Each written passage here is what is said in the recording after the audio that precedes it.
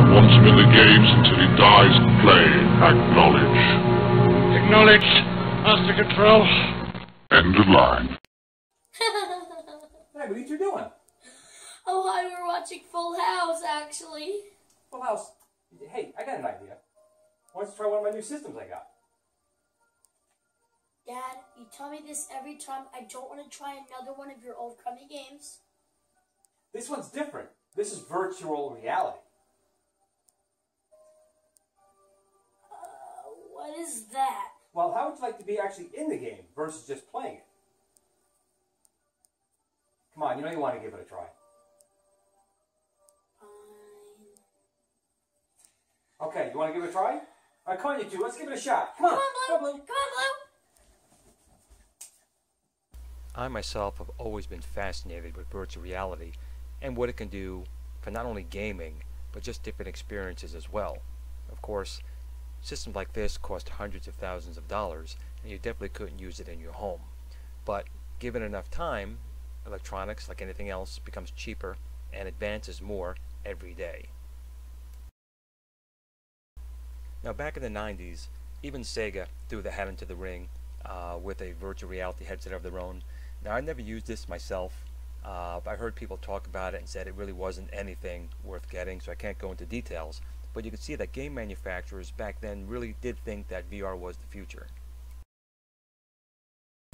A lot of times when you think about early virtual reality, people will think of the Nintendo Virtual Boy, and they consider it a huge flop. Now to be quite honest, it did have virtual in the name, but the Virtual Boy was never meant to be virtual reality. It was just meant to be a little immersive for some 3D gaming. And to be honest, I love the Virtual Boy. My friend Vectrex Roli also is very big on the Virtual Boy.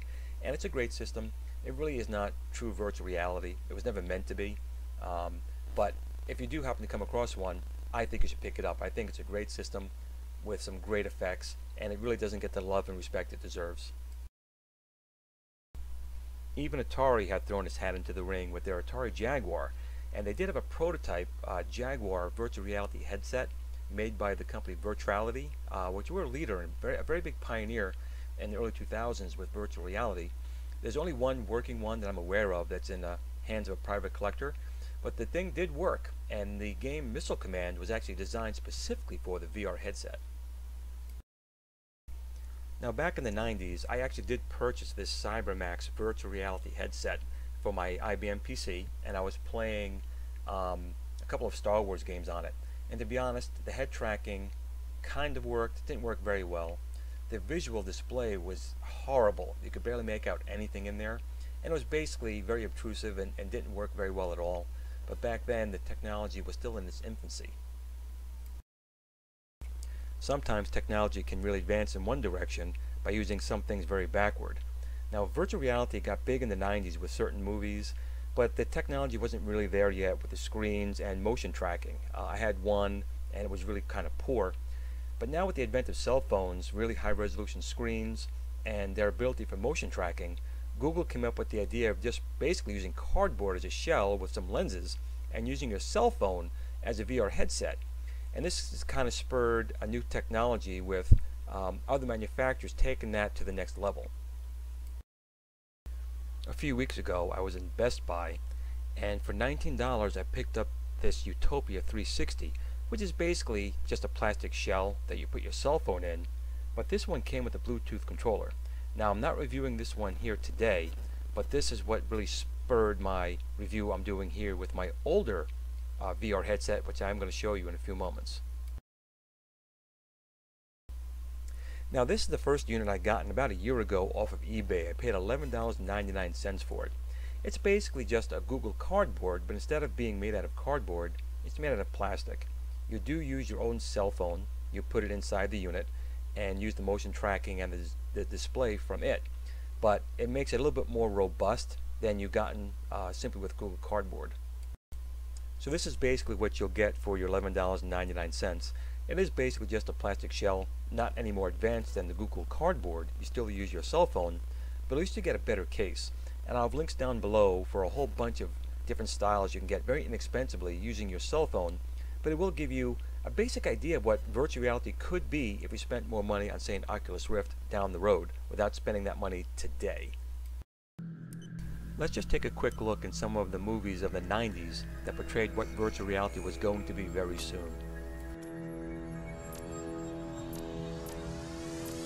Password enter.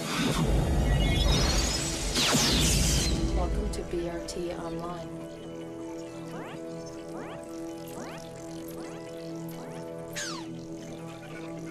Global net selected. Beijing selected.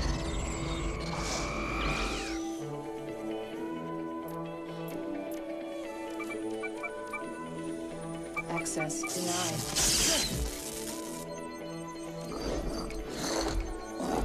Access granted. Hotel Beijing selected. General account selected. Fax charges 32571, 15 January 2021, say 11.15 p.m. to 11.30 p.m. Online translation? Translator selected. Shit. It's just an all-night coffee shop. They were sending the fax to a coffee shop here in Newark. Local net selected. Hold it. Hold it. Command terminated. Come on. Way back to Newark. Copy world selected. Yeah, It's here. Fax buffer selected. Part of it's here in the buffer of their fax modem.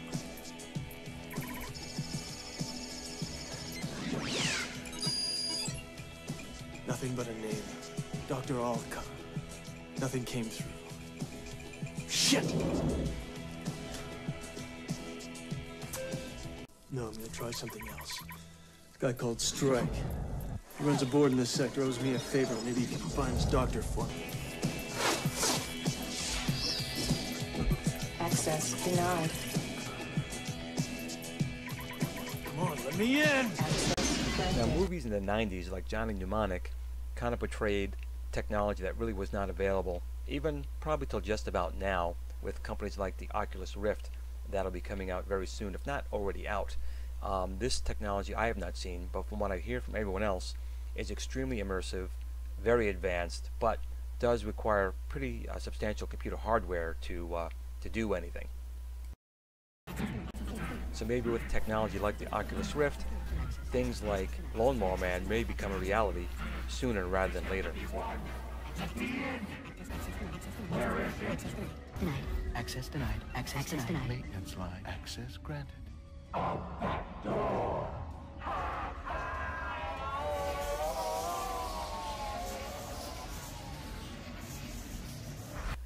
But as advanced as the Oculus Rift is, it does require a pretty substantial investment in both the unit itself and computer hardware that can run it.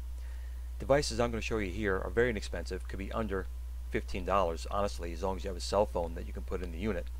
And I think it'll give you a good idea of what virtual reality can be, get your mouth watering, and make you decide whether or not you do want to spend the additional money on a more advanced system. So let's take a look at the unit itself.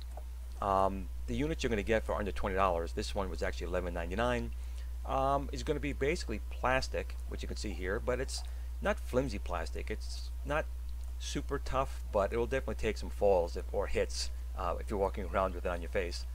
Um, the headrests are pretty comfortable. Again, um, this one came with a very cheap foam to go around your face. Um, there are better ones that give you a better padding, but the foam does the job.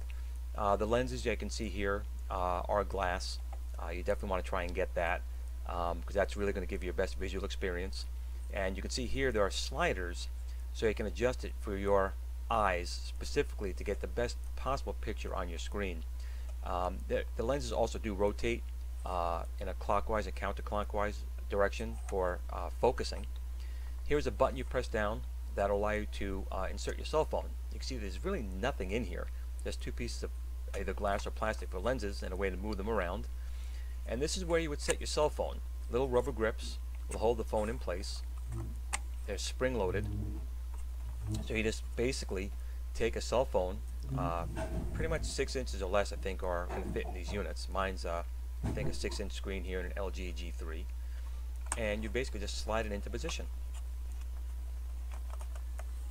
once you have your phone in position, um, unless you have an external controller, which this one I do not, you have to start up your phone and start your application and then close the unit. Most VR applications for Google Cardboard, once you do this, by tilting your head, you usually can select uh, specific parts of the program, but you can also set up a Bluetooth controller if you need to. Let's see how my son does trying out some VR. Uh, it, uh, uh, is this correct? And of course, the better the display inside your cell phone, the better the display will look like to you in the virtual reality environment. And with all the built-in accelerometers in modern cell phones, the head tracking is pretty good as well.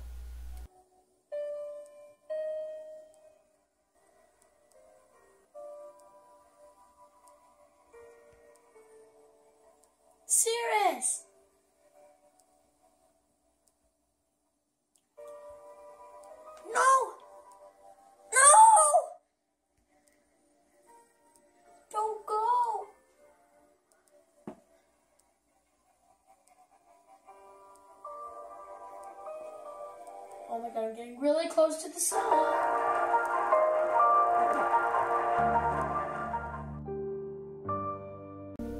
Now the program my son has been viewing is called Titans from Space. It's a really good solar system simulator. It's available in both the Android and iPad marketplace. Um, it's really gorgeous. If you can see this in a, in a helmet, you really can't get the full effect here in this video. But everything here is in 3D. The depth is amazing. Um, you can look around uh, the Earth and the Moon. You can see the, the perspective between them with the 3D imagery. Um, if you have an opportunity to pick up one of these inexpensive helmets, this is a definite must-have in my opinion. It's just phenomenal to look around the solar system in this way and get a great tour guide. It's well worth the price.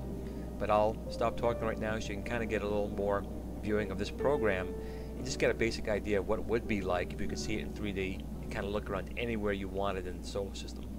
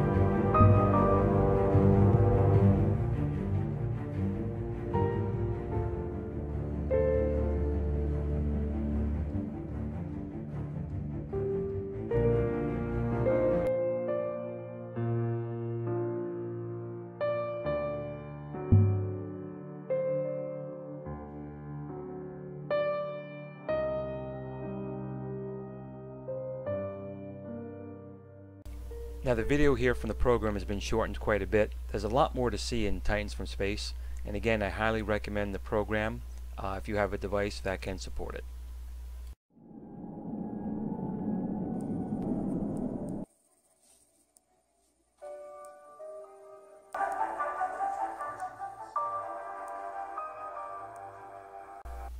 So although these are not true virtual reality in the most immersive sense, something inexpensive like these 15 to $20 virtual reality headsets and your cell phone will at least give you a basic idea of what you can expect uh, with getting something more advanced before you break the bank and buy something like that. I hope you enjoyed the video and give these things a try. I actually think they're fantastic. If not, even just to watch Vectrex Roli's videos in 3D is totally worth it.